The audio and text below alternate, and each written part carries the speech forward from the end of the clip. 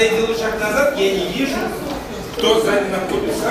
Вот, то есть чуть-чуть шаг назад, в сторону, ну и начали. Раз, два, три, и вышли, поменяли место.